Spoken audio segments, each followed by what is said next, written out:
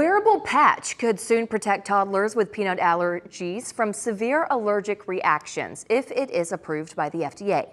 The patch, called ViaSkin, just finished phase three trials. It's worn every day and it allows the skin to absorb a small amount of peanut protein.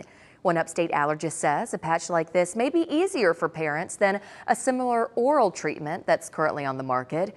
But he says treatments like these do come with potential drawbacks many of my patients who have food allergies have multiple food allergies. And so a big challenge with this is for families to make the time commitment, cost commitment.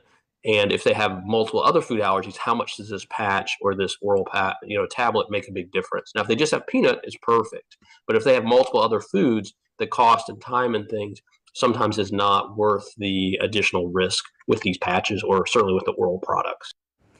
The phase three trials were for children under the age of four only. No word yet on a timeline for the FDA approval process.